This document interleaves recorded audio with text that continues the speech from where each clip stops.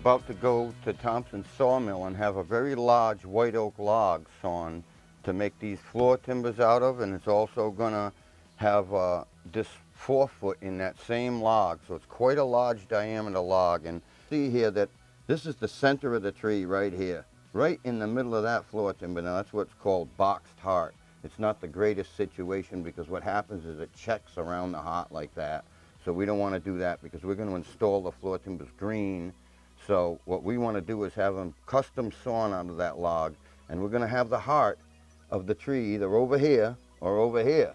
So what happens is the annual rings are going to be going right through that log from one side to the other and that would be referred to as quarter sawn or edge grain and what that does is it reduces the amount that the timber will shrink and change shape in this direction. You can see I've extracted the forefoot out from on top of the keel and out from underneath the floor timbers in the mast step area here and I've got it out on a couple of sawhorses here. This is the piece that we're going to try to get out of that large log out at the sawmill. And like I say, the annual rings in this log were on a kind of a diagonal to the log right here, and the medullary rays going through it that way. We wouldn't want that because our log's gonna be green, and we don't want it to shrink into a rhombus.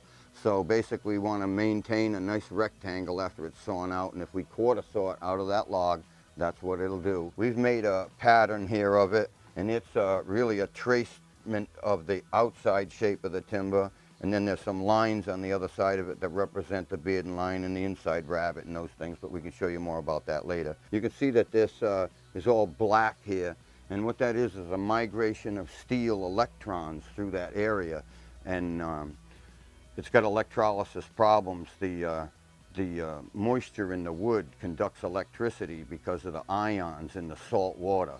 And uh, it burns the lignin out from between the fibers of the wood. The wood becomes weak and the pressure of the caulking has actually snapped it off from the inside rabbet line forward. So it doesn't show much damage around the screw holes here where the planking was fastened to it because those were bronze screws and these were iron bolts going through here. So the iron bolts had deteriorated and that's what's caused most of the problems with it. It's got a number of other problems.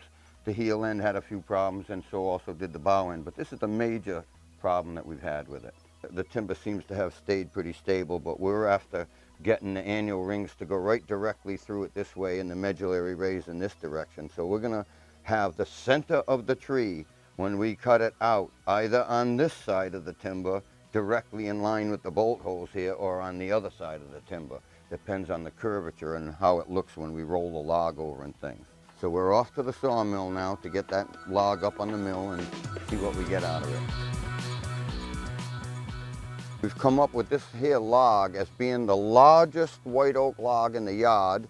And obviously when I buy something that I want to cut a timber out of, I want to cut it out of the largest log I can get it out of because I don't want it to have any heart in it. This, all the timbers and everything that we cut out of this log are going to be clear of the heart completely because of the size of the timber. If it was a smaller timber, it wouldn't allow us to do that. So it's very important to me not to have the heart in the timber and this is the log we've come up with. Its actual name is Quercus alba. You can tell that by the look of the bark. It seems to me that this log, the quality of this log is just fantastic. We're down at the butt end of this log that I've purchased now, and it's quite a large log. It's almost three feet across.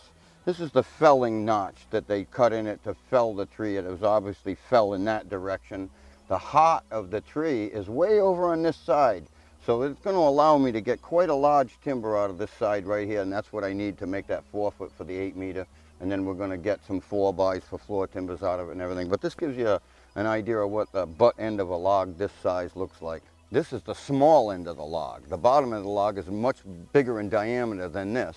And you see a little uh, knot in it here because this is, uh, was cut off just above a large branch on this end. So the log appears to be about 20 feet long, but we're only going to use maybe 18 feet of it because we're going to buck it off here on this end. I'm looking to get a very large timber out of this thing that's about 14 inches by 8. And that is going to come out alongside the heart right here with the annual rings going through the timber this way.